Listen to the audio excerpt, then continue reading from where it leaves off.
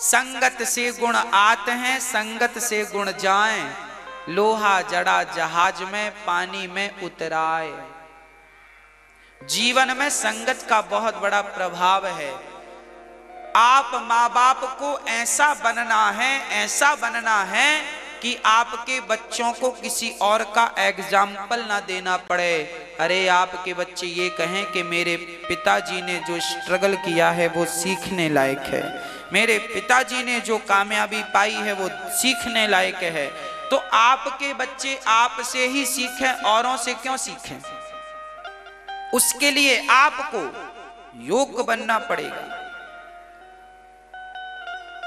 सीखना पड़ेगा। ध्रुव जी माला जपना सीखते हैं।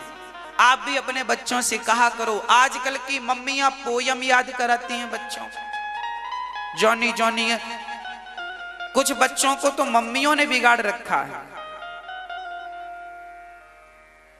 बाद में फिर रोती हैं मम्मियाँ बेटा, परेशान करता है। तुमने पोयम याद कराया तो परेशान करेगा ही। गीता के श्लोक याद क्यों नहीं कराए थे? कोई मेहमान आता है, बेटा, पोयम सुनाओ, जोनी जोनी, इस पापा वाली सुनाओ। ये क्यों नहीं कहते कि बेटा, गीता का श्लोक सुनाओ सर्वधर्मान परित्यज्य सुनाओ।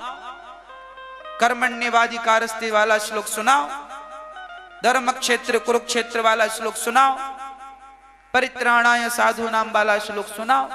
गीता ने याद, गीता याद नहीं कराई। रामचरितमानस की चौपाइयाँ याद नहीं कराई, पोयम याद करा दिया। तो पोयम याद कर करके फिर पहनाता है।